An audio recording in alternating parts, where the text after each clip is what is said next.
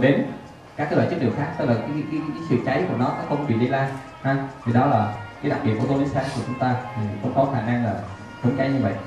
Đặc biệt là cái khai hơi hóa chất ha. thì trong các cái uh, số cái công trình nhà máy mà trong khi mà làm thì có các cái dung môi nó bay lên à, hay là các cái hơi uh, liên quan đến các thuốc axit bay lên. Thì sau một thời gian khi nó mưa xuống thì nó hình thành các dạng axit nó bám trên bề mặt thì nó gây ra ăn mòn rất lớn. Nhưng mà cái vật liệu FLB này của chúng ta thì nó thay thế được và nó chỉ giải quyết được cái vấn đề đó. Ngoài ra thì đối với một số cái trường hợp đó, anh chị thấy là cần được bề dày 0.75 thôi hay là cộng 1 ly 2 ly 3 ly đó thì cái công nghệ ờ, thay đổi đó là làm cho cái bề dày theo yêu cầu uh, của uh, các anh chị được. Thì cái nguyên liệu mà sử dụng trong cái tấm lợp lấy sáng này thì tùy theo tùy theo cái cái cái, cái uh, yêu cầu uh, tùy theo từng loại công trình. Đó thì uh, Na, Naco đã sử dụng rất là nhiều loại uh, nhựa polyester khác nhau. Thì anh chị biết đó là polyester có rất là nhiều loại. Ở thị trường có cả trăm loại luôn đó nhưng mà mỗi mỗi loại thì nó sẽ có một cái tính chất và có một cái điều kiện sử dụng riêng. Anh chị thấy là có nhiều polyester cũng làm tôn nhưng mà cái nhiệt cái nhiệt độ biến dạng của nó còn 60 nhưng mà có những cái loại đến nhiệt độ khoảng 90 đến trăm. Thì người ta là đến cái nhiệt độ đồ đó thì nó sẽ bị biến dạng thì nếu mà anh chị không chú ý á, thì đối với các cái dòng sản phẩm mà mà thông thường á, cũng có làm sản xuất tôn được, vẫn lấy sáng được. Nhưng mà cái khả năng chịu nhiệt kém hơn, thì sau một thời gian dưới tác dụng của ánh sáng, tích tụ năng lượng, đó, thì quá trình nó sẽ bị phong vân xảy ra. Ha, thì nó sẽ dẫn đến là khi nó bị biến dạng sẽ bị hở. Do đó là các cái tấm lực của chúng ta nó rất là dễ dàng bị hiện tượng là không chịu dồn. Ha, thì bắt đầu sản xuất ra các dòng sản phẩm thì khó có thể đánh giá được. Nhưng mà theo thời gian, các anh chị sẽ để ý. Tại vì cái yếu tố là khi mà anh chị sử dụng các loại nhựa thường, nhựa thông thường, thì cái độ bền, thứ nhất anh chị có thể đánh giá xem có độ bền. Tại vì cái độ bền nó càng nó càng thấp á tính chứng tỏ là gì? Trong quá trình nó tạo các cái mặt không gian nó yếu. Cái thứ hai là thay vì cái mắt xích của chúng ta là mặt mặt nó phải dài, nhưng mà đối với cái dòng sản phẩm mà nó độ bền có tính thấp hơn, thì cái mặt nó sẽ ngắn hơn ngắn hơn thì sao? Thì cơ tính nó sẽ thấp hơn. Đồng thời là gì? Nó, nó nhanh dễ bị tác động dễ bị lão hóa hơn. Ha. Đó thì à, với các cái dòng sản phẩm à, của của nhiều polyester đó thì Naco đã xây dựng được là các cái dòng sản phẩm mà anh chị có thể lựa chọn. Vì anh chị nói ai môi trường của tôi có thể lên tới 60 trong số cái trường hợp mà có thể nấu nung nấu hay là cái gì đó nó có thể lên tới tám chục. Đó thì uh, Naco sẽ đáp ứng được cái vấn đề đó cho anh chị. Tại vì cái môi trường sử dụng rất quan trọng nhiều khi anh chị nói hồi xong mua về lập thời gian là vì tác dụng của nhiệt độ xong hồi nó sẽ bị mưa bị vô đấy, đó thì đây là một cái đặc điểm mà mà công công ty uh, Naco rất là chú ý để làm sao đáp ứng yêu cầu của, của khách hàng.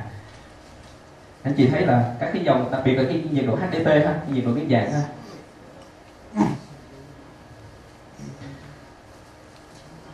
Và một cái thứ hai đó là một cái câu hỏi đặt ra hiện nay là ở ngoài thị trường cũng có rất là nhiều loại tôn và hiện nay đó là uh, trên thị trường có cái loại là, là tôn uh, PC tâm lý sáng PC là polycarbonate. Thì uh, ở đây anh chị uh, nhìn hai hai cái bảng ha. Thì mỗi hai cái bảng để so sánh cái tính chất tại sao cái, cái, cái tấm lợp PC nó không có bằng cái tấm lợp e, e, LRB ha. Thì anh chị thấy là cái độ bền nhất là về đã à, được kiểm tra ở trung tâm 3 thì anh chị thấy là tới 124 MPa. trong khi đó cái tấm PC của chúng ta thì cái độ bền của nó là khoảng 58 đến 68 MPa là độ bền kéo cái thứ hai đó là độ bền uống thì độ bền uống của cái tấm LB thì có cái độ bền là khoảng 220 tuy nhiên anh chị thấy là cái tấm lợp à, uh, PC thì độ bền uống nó khoảng 85 đến à, uh, 80 đến 95 MPa. anh chị thấy là một cái độ bền rất là chênh lệch đặt độ độ về uống. Cái thứ hai là cái tấm lợp PC uh, ờ, nó có một cái đặc biệt anh chị để ý là đối với các cái uh, môi trường mà có hóa chất dung môi thì nó rất, rất là dễ bị dễ bị mờ. Rất là dễ bị mờ. Đó. À, đặc biệt á, là trong cái PC này á, chị mà tiếp xúc với lại là các cái dung môi như styrene hay là acetone đó thì cái tông PC nó sẽ bị mờ liền. À, và một cái điều quan trọng nữa, nếu mà tấm sau khi thuộc thời gian nó bị lão hóa thì rất là nguy hiểm. Bởi vì khi nó lão hóa thì cái độ giảm cơ lý rất là cao. Cái độ độ giảm nó kinh khủng. Đó.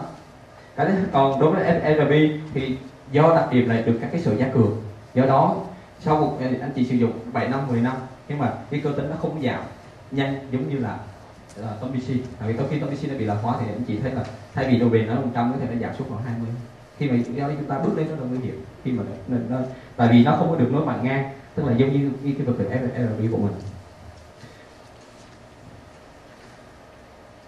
Đây là cái sản phẩm uh, của lấy sáng sử dụng uh, trong các cái vườn ươm ha. Thì hiện nay uh, Naco cũng đang nghiên cứu là tạo ra các cái dòng côn mà có độ độ tán sắc cao ứng dụng trong uh, các cái nhà uh, vườn ươm này. Anh chị biết sao thì trong các cái nhà vườn ươm này đặc biệt là gì? Khi mà ánh sáng nó xuống á chiếu xuống á à, nó qua cái tấm lợp. Nếu mà nó phân tán đều ra hết phân tán đều ra hết tức là cái quá trình quang hợp trong cái khu vực này rất là đồng nhất. Do đó các cái sản phẩm cây của chúng ta phát triển thì nó đồng nhất. Nếu mà ánh sáng nó chưa trực tiếp xuống từng vùng khác nhau thì nó dẫn đến hiện tượng là cái đổ à, đồng nhất nó nó sẽ bị hạn chế.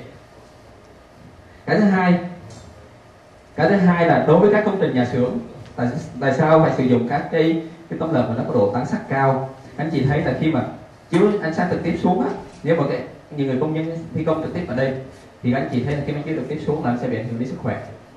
Cái thứ hai là độ thẩm mỹ. Anh chị thấy là à, một cái nhà xưởng lớn như vậy mà nó bị uh,